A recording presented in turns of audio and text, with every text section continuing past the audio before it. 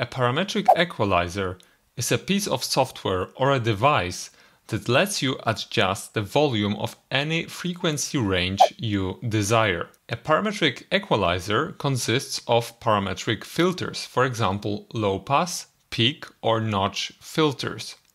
How to design these filters, how to implement them in code. In this video, I will show you four simple steps you can follow to build every possible parametric filter. Hi everyone, this is Jan Wilczek from thewolfsound.com and if you're new to this channel, I teach you how to process sound using self-written software. In the previous video we discussed all musically useful parametric filter types. In this video I'll be showing you how to fully design and implement a parametric equalizer plugin.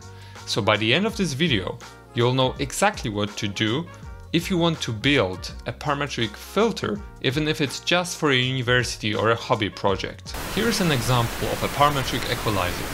You can hear that I can boost or cut entire frequency ranges. Each of these dots represents a parametric filter. This video shows you a procedure how to design each and every one of them.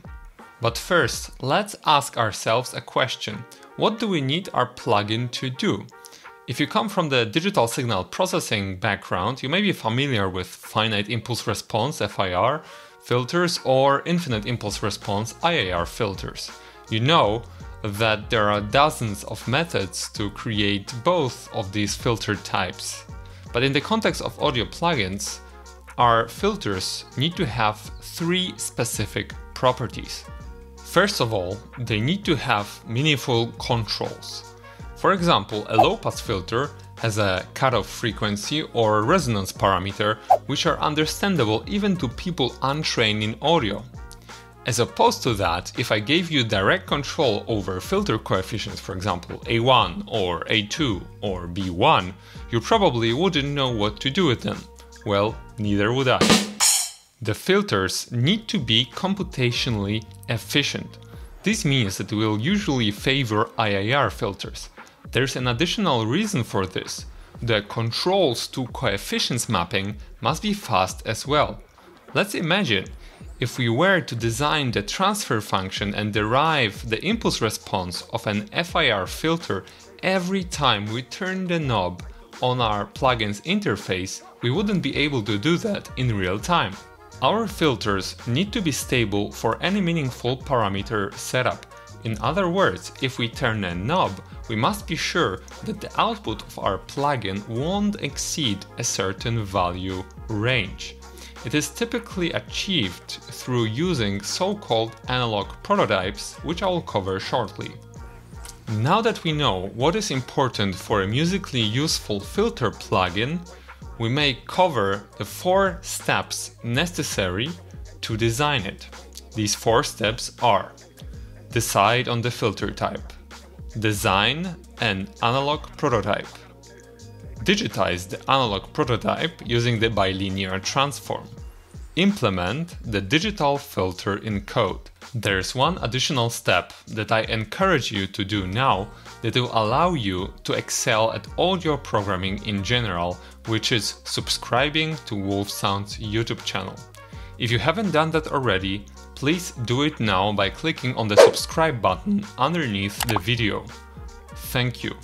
Each and every subscriber makes me want to do more articles and videos so that you can enjoy the beauty of audio programming. Let's now discuss each of the four steps in more detail. The first step is to decide on the filter type you want to implement.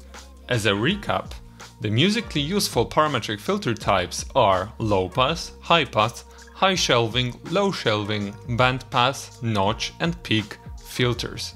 If you want to learn more about them, then I highly encourage you to check out the previous video on parametric filter types. I have linked to it in the description below. Now that you know the parametric filter types, you may decide on which of them you want to implement. Even if you want to implement them all, start with just one. Do you have it? Great, then it's time for step 2, designing an analog prototype. Using an analog filter ensures that we have a meaningful controls to coefficients mapping and we obtain a computationally efficient and stable IIR filter. In order to design an analog prototype for the desired filter type, we need to turn to analog filter design theory. Without going into much detail, there are four main classes of analog filter design. Bessel, Butterworth, Chebyshev and elliptic functions. Each of them is optimal in some sense.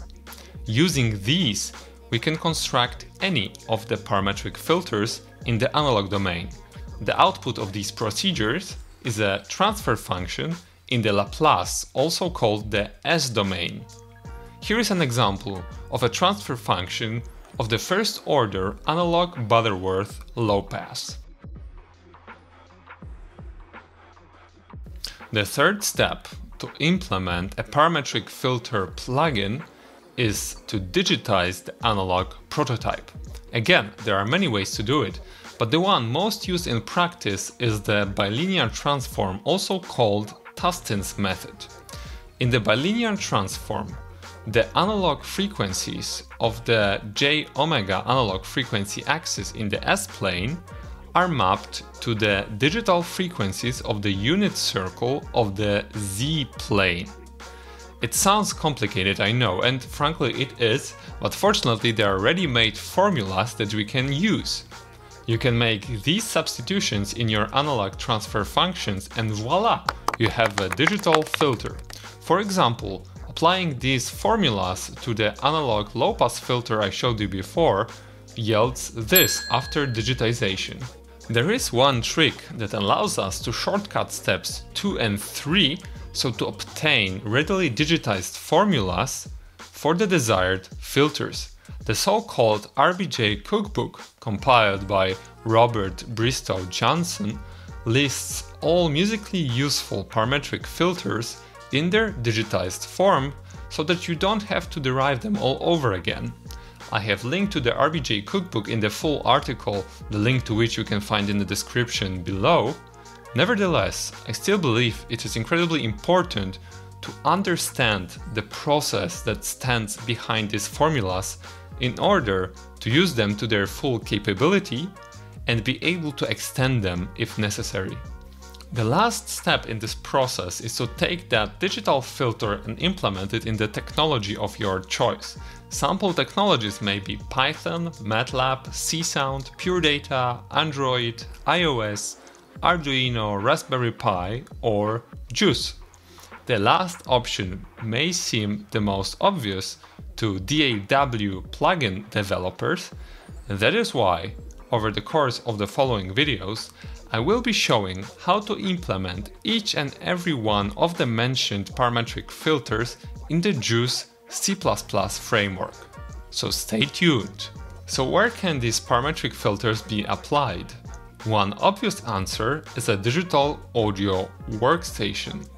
In this software, you can use parametric EQ plugins to manipulate the frequency content of your audio tracks. Using these parametric filters, you can remove unwanted tones, wideband noise, and add coloration to that timbre. However, that's not the only use. Efficient filters are especially important in game audio, virtual reality, or in a broader sense, any sound design scenario.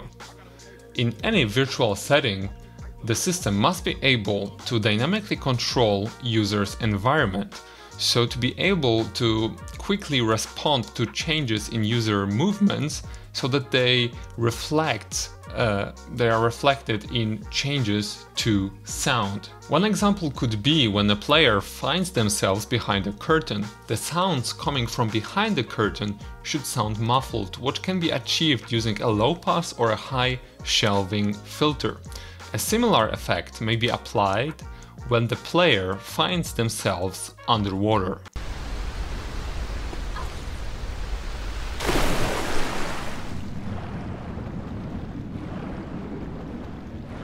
In summary, in this video I have shown you four steps to create a filter plugin, from the idea to the implementation. I have also showed you the shortcut in the form of the RBJ cookbook. Over the next couple of videos, I'll discuss each of these steps in more detail so that you can understand fully this process. What will follow is a series of JUCE C++ plugin design tutorials in which I will show how to implement each of the mentioned parametric filters. If you want to be notified when the mentioned videos are published, please subscribe to the WolfSound channel and turn on notifications. As usual, I have put the content of this video in an article form over at thewolfsound.com and I have linked to it in the description below so that you can bookmark it for future reference. Thanks for watching and see you in the next one. Take care.